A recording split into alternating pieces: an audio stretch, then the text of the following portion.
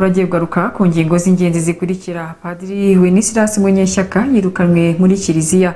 Naho mu karere ka gatsibo umugabo yafatanywe ibiro cumi na bitanu z'inyama z'imvubu bikekwa ko ngo yiciye muri parike. Hanze rwanda turaza kubabwira ko umuhungu wa kadafi yemerewe kwiyamamariza kuyobora libiya naho ishami ry'umuryango w'imyita ku buzima oms ryatangaje ko ibihugu bidakwiye kugira igihunga ku bwoko bushya bwa covid cumi n'icyenda bwiswe omicron. Reka mbaye ikaze mu makuru ku buryo burambuye n'amakuru mugiye kugezweho nanjye liliane hiradukunda nkaba ndi kumwe na joseph niyonzima ugiye kumfasha ku buhanga bw'ibyuma. Ayo makuru yacu kandi mbibutsa ko mushobora kuyakurikira munyuze ku mbuga nkoranyambaga zacu ari zo facebook na youtube btn tv rwanda. Amakuru reka tuhere ku nkuru yabaye ku munsi w'ejo umurenge wa kimisagara mu karere ka nyarugenge. Umubyeyi wari umaze iminsi abyaye yasanzwe mu nzu yapfuye. Aho bikekwa ko ngo yaba yararozwe n'abari baje kumuhemba. Inkuru irambuye na mugenzi wacu ndahiro valence papi afatanyije na remi ngabonziza. Ni mu karere ka nyarugenge yo mu murenge wa kimisagara akagari ka kimisagara aho umugabo witwa bihoki diogene yaje gutungurwa n'uwari umufasha we yasanze yitabye imana. Ibi bikaba bivugwa ko yaje kurogwa n'abagore batatu bamuzana inzoga ya primus dore ko yari amaze igihe gisaga icyumweru amaze kwibaruka. Muri rusange ku mugoroba nari ndi ahangaha mu rugo hano ni ho ntuye navuye ahangaha hari umuntu warumpamagaye dufitanye gahunda nasize umugore wanjye ari muzima namusize hano hanze ari kumwe n'abana. Arabwira ati se mwashatse uburyo duteka ko bwari bwije? Nahavuye amaze icyumweru abyaye. Nahavuye nsubira mu kazi. Nitabye uwo muntu. Havuye nyuma ye saa moya. Haje abadamu bakorana mu kazi acuruza inkweto yazicururizaga mu masoko yo hanze. Ngewe baje ubwo nasubiye mu kazi bisanzwe. Umukozi dukorana arataha. Ageze ahangaha arambwira ati ko ndimo gukomanga ntibankingurire. Ntabwo rero ubwo wasanga urimo gukomanga gake? Reka nze nkomanga. Ntazamutse.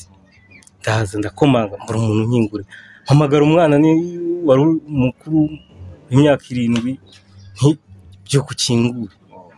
Yabyutse niyo wankinguriye ninjiye mu nzu nsanga umudamu ameze nabi.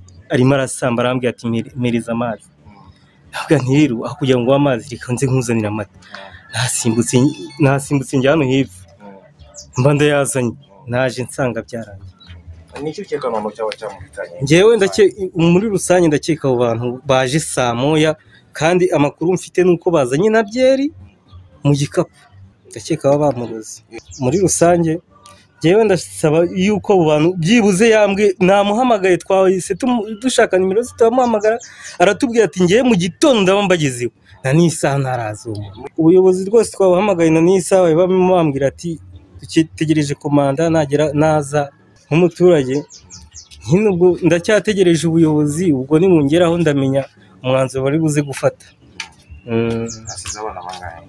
Hasize abana batatu uw'icyumweru n'abandi babiri bakuru ho gatoya. Uw'itanu n'uw'irindwi bamwe mu bari abaturanyi babo nabo bakomeza bahamya iby'uru rupfu ndetse bakongeraho no kunega inzego z'ubuyobozi kuba ntacyo zigeze zikora kugira ngo uyu murambo w'unyakwigendera ushobore kuba wafatwa ujye gukorerwa isuzumwa hamenyekane icyaba cyamuhitanye. Twababaye cyane. Twababaye cyane kubona umubyeyi wari umaze icyumweru ejo yari muzima tugasanga yaraye apfuye yahise apfa. Byatubabaje cyane.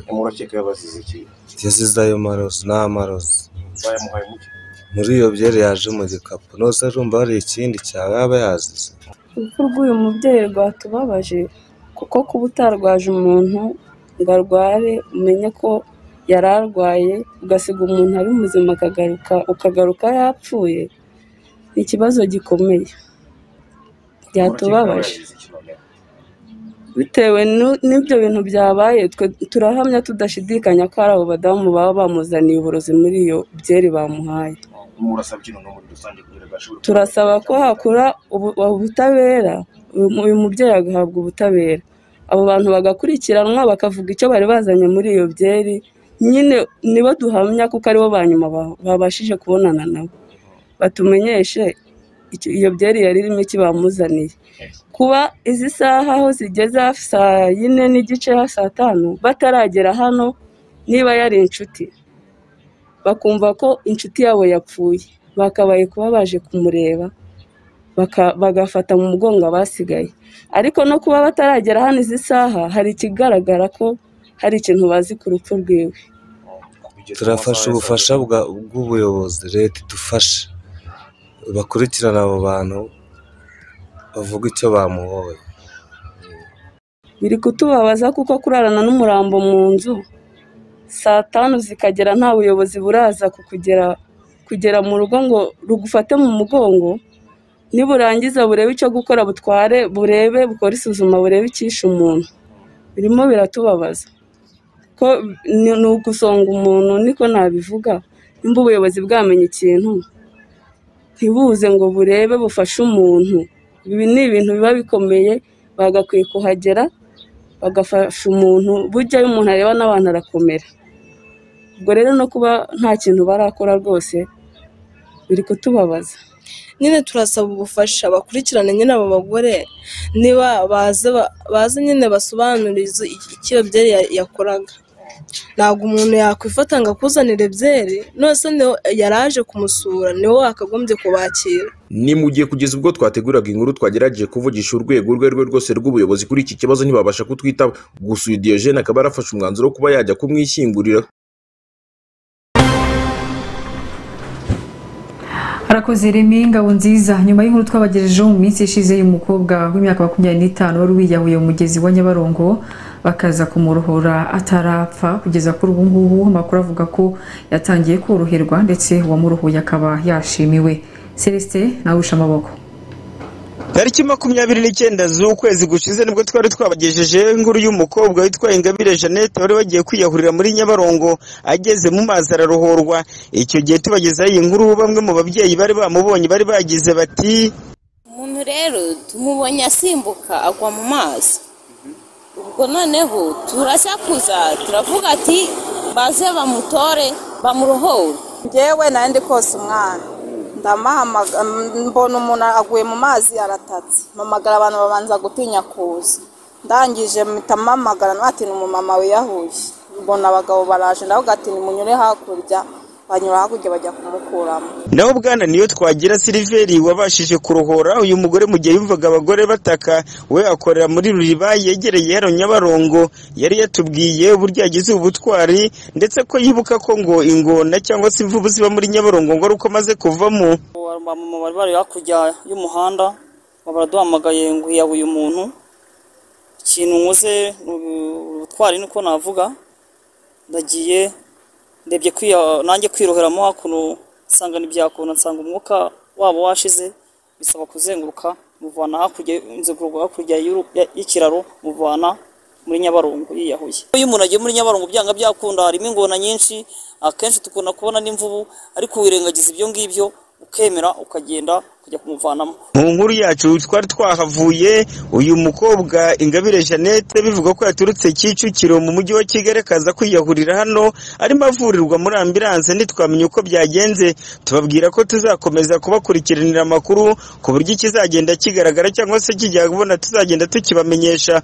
Ubu amakuru btn tv twamenye ni uko noneho uyu mukobwa ngo yorohewe ndetse ngo ntabwo ngo kiba kicukira ahubwo yahise ajya kuba kwa mukuru witwa jeanne ngo utuye ku kacyiru.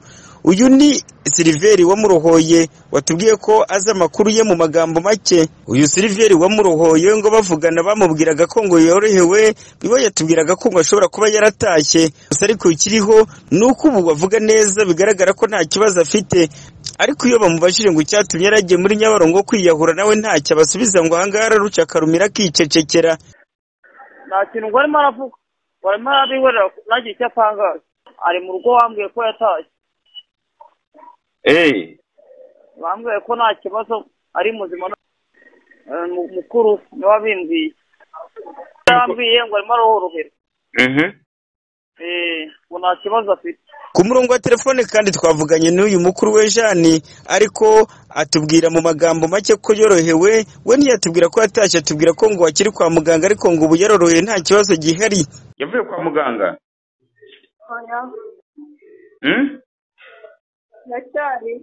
Andi makuru mashya ariko ni uko uyu siliveri yabonye umugiraneza nyuma akimara kubona iyi nkuru yifuje kumenya ko BTN TV yamuhuza n'uyu muntu maze mu kumuhuza ngo ajya kumureba akorera. Yirinze ko dushyira imyirondoro y'ahabona ngo kugira neza si ngombwa ko bijya ku karubanda. Ariko uyu wamurebye cyangwa se arohoye uyu mukobwa yagarutse kuri uyu mugabo ishimwe yamuhaye n'icyo yahise arikoresha. Eh, yaramfashije iyo umuntu arwaye ibihumbi ijana. Akabasha kugura ingurube n'agahene yarakoze pe. Rwose yarakoze kuko nanjye na byo nari mfite umuhungu wanjye bari bamwirukanye ku ishuri bw'amaterineri mbasha gusagura ibihumbi icumi ndamwishyurira yakomeje asaba abantu bafite umutima wa kimuntu kuzajya bafasha abababaye ndetse no kubona umuntu ugeze mu kaga ukaba washobora kurokora ubuzima bwe utacika intege. Ku nkuru y'umukobwa uheruka kwiyahura ubu ubuzima bwe ngo bukaba bwatangiye kugaruka ariko noneho n'uwagize uruhare akaba atangiye gushimirwa n'abandi nari yiseretse nawe yirusha amaboko. BTN TV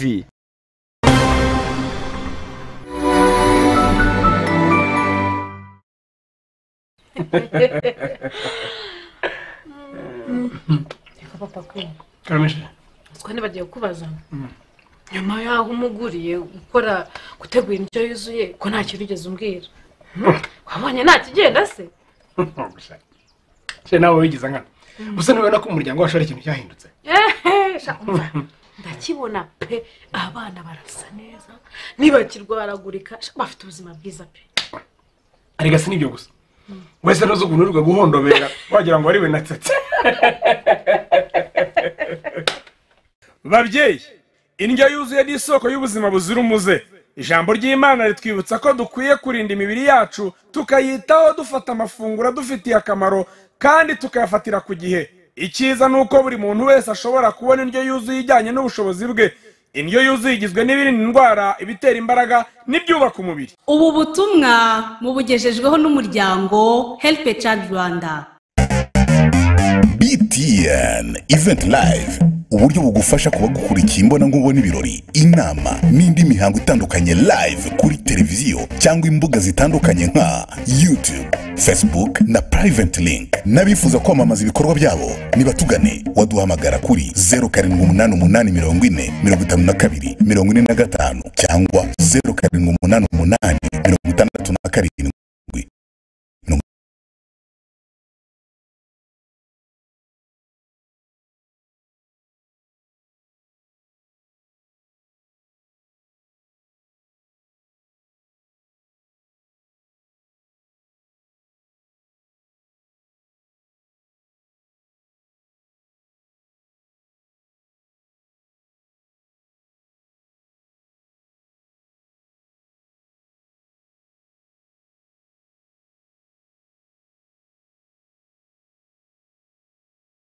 kane mirongo itanu n'umunani.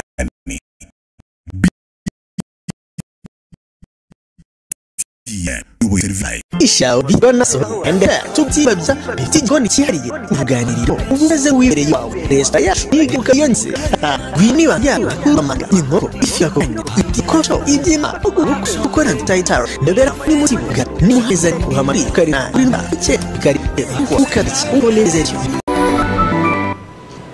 reka amakuru ya perezida nta y'iburasirazuba aho polisi ikorera muri reka gasibo yashungabo w'imyaka mirongo n'icyenda avuga ukekwaho kwica inyamaswa muri pariki y'igihugu y'akagera akayibara kuko yifatanwe ibicumi bitanu. By'inyama z'imvubu uyu mugabo witwa hakizisuka jean claude yafatiwe mu murenge wa rwimbogo mu kagari ka munini mu mudugudu wa nyamwiza. Yafatanwe ibiro cumi na bitanu by'inyama z'imvubu bikekwa ko yari avuye kuyica muri pariki y'akagera uko yafashwe ariho aturutse.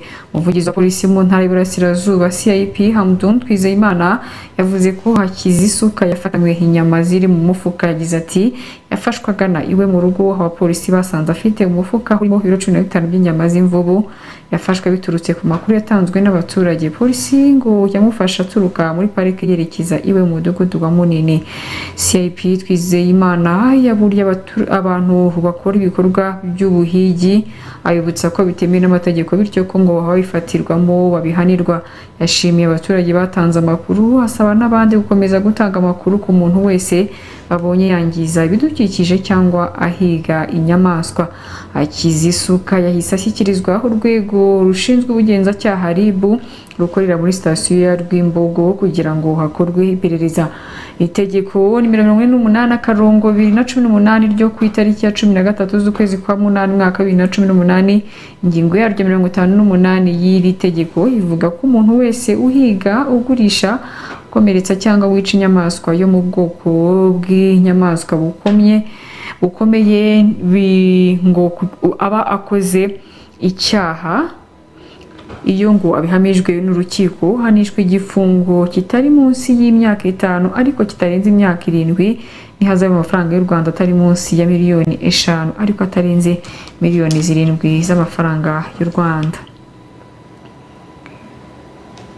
Mu yandi makuru twabateguriye kugeza kuri ubu padiri Wenceslas Munyeshyaka wahoze hakuriye paruwasi ya Sainte Famille mu mujyi wa Kigali yirukanwe muri kiliziya nyuma yo kwemera ko afite umwana w'umuhungu.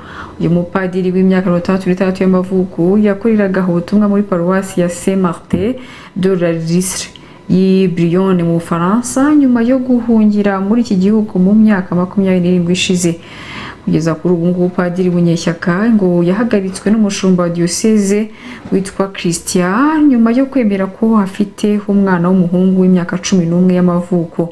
Itangazo rya diyoseze yasohoye rivuga ko mu mpeshyi y'uyu mwaka ari bwo padiri munyeshyaka yinjiye mu bitabo by'irangamimerere byo muri komine ya gisor akemera ko hari se w'umwana w'umuhungu w'imyaka cumi n'umwe y'amavuko yabyaranye n'umugore wo muri ako gace ni muri urwo rwego. Musenyeri norishar yamuhagaritse gukora imi- imirimo yose y'ubupadiri ndetse no kwakira no gutanga amasakaramentu bijyanye n'uko ngo ibyo yakoze bihabanye n'imirimo yo kwiha imana.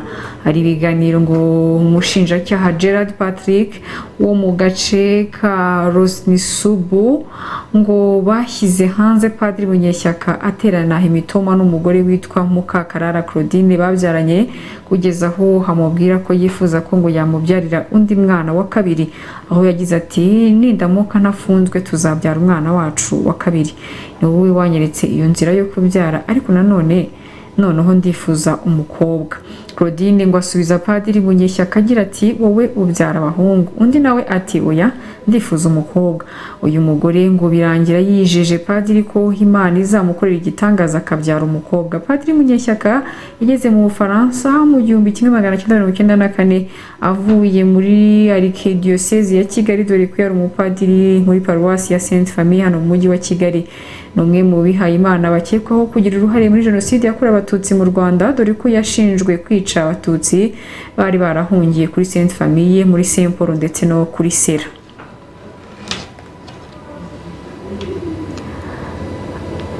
Aya makuru reka tuyakomereze ku makuru ajyanye n'icyorezo cya covid cumi n'icyenda. Hano mu rwanda aho minisiteri y'ubuzima yatangaje ko ku munsi w'ejo ku itariki eshatu ukuboza mu rwanda habonetse abanduye covid cumi n'icyenda bashya bagera ku icumi.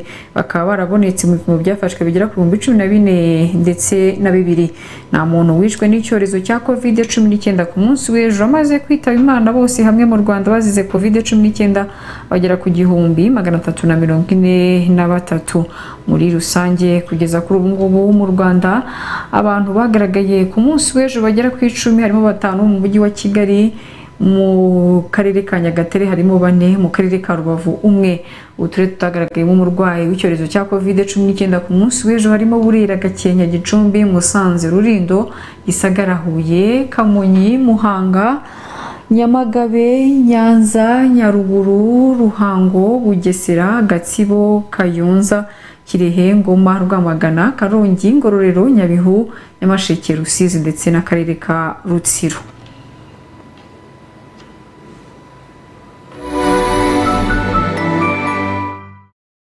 Magazema colombi ti terwa ishema no kurimba. Uwambitswe n'aya mangazini y'abasirimu atambuka mu b'imbere agahabwa ijambo ahakomeye. Nawe rero hanyurana umucyo muri iyi costume sur mesure. Amashati slim fit urukweto nk'uru n'umukandara bikwereka abazi kwambara amapantaro n'amajinizi azira gucuye amatisheti n'ibindi original. Magazema colombe yivanira i burayi. Magazema colombe ni muri kigali ka free zone iruhande neza rwa kcb telefone ni zeru karindwi umunani umunani mirongo itandatu n'umunani mirongo irindwi na gatatu zeru kane na zeru karindwi umunani umunani mirongo itanu na kane mirongo itatu na karindwi zeru umunani. Ntukikwe kuri novelas tv nitwa carmen iyi ni inkuru y'uburyo nageze muri afurika carmen afite urukundo. Ndetse n'ibyiyumviro byo kwibera muri afurika ikibabaje ariko kugira ngo abigereho agomba kubirwanira. Irebere byihariye urugendo rwa carmen na julia muri seri nshya yitwa devi kuri novelas tv kuri sheni ya mirongo itatu na gatatu. Kugira ngo udacikwe ni byiza gura ifatabuguzi ryawe rya canal plus uyu munsi ukoresheje mtn mobile money. Aho ukanda akanyenyeri ijana na mirongo inani na kabiri akanyenyeri gatatu akanyenyeri rimwe akanyenyeri kane akadirisha. Ku bindi bisobanuro gana umucuruzi wemewe wa canal plus cyangwa uhamagare kuri makumyabiri na kabiri zeru zeru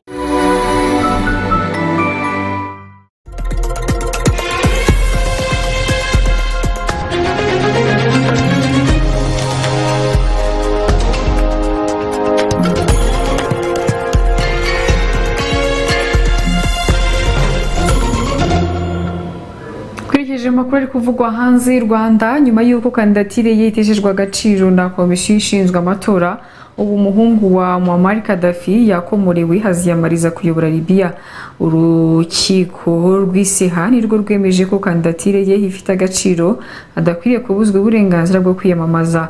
Safe air islam kadafi ku itariki ya cumi n'enye ugushyingo yari yatanze kandidatire nyuma y'iminsi icumi hamenyeshwa ko hatemerewe kwiyamamariza kuyobora iki gihugu. Ubu inkiko zatesheje agaciro. Ibyari byatangajwe na komisiyo y'igihugu y'amatora bemeza ko hakwiriye kwiyamamariza kuyobora igihugu. Mu matora azaba ku itariki makumyabiri n'enye ukuboza uyu mwaka. Amategeko agenga ko umukandida agomba kwerekana inyandiko igaragaza ko hatigeze ahamwa n'ibyaha. Gusa ntihasobanurwa neza ibyo ari byo. Ni mu gihe safe air islam kadafi yahamwe n'ibyaha mu mwaka wa bibiri na cumi na gatanu. Ku rundi ruhande hari itegeko ryatowe n'inteko y'itobruk riha imbabazi abanyaribiya bose. Bagize uruhare mu mvururu zabaye mu gihugu mu mwaka wa bibiri na cumi na rimwe ku buryo naryo ubwaryo ryongera urujijo mu miterere y'ikibazo. Urukiko rw'i Tripoli rwari rwavuze ko ibyaha safe air islam kadafi yahamijwe ngo yahamijwe ngo bimwambura uburenganzira kuri izo mbabazi. Ni mu gihe urukiko rw'iseba ngo rwo rwatangaje ko nta kintu cyabuza uyu kadafi kwiyamamaza bityo kandidatire ye yemewe. Uyu muhungu rero wa kadafi akaba yemerewe kwiyamamaza kuri iyi nshuro mu matora azaba ku itariki makumyabiri n'enye z'uku kwezi. Ishami ry'umuryango ryita ku buzima wms ryatangaje ko ibihugu bidakwiye kugira igihunga ku bwoko bushya bwa covid cumi n'icyenda buzwi nka omicron biherutse kugaragara. Ivuga ko hari ngombwa gushyira imbaraga mu kwitegura no gushyiraho uburyo bwo guhashya iki cyorezo aho gushyiraho ingamba zidasanzwe zirimo gukumira ingendo. Uwitwa sumya swaminata uri mu buyobozi bwa oms yavuze ko isi yiteguye neza guhangana na covid cumi n'icyenda kurusha uko byari bimeze umwaka ushize ubwo iki cyorezo cyatangazwaga bwa mbere. Asobanura ko ibikorwa birimo gukingira hari byo bikwiye gushyirwamo imbaraga cyane.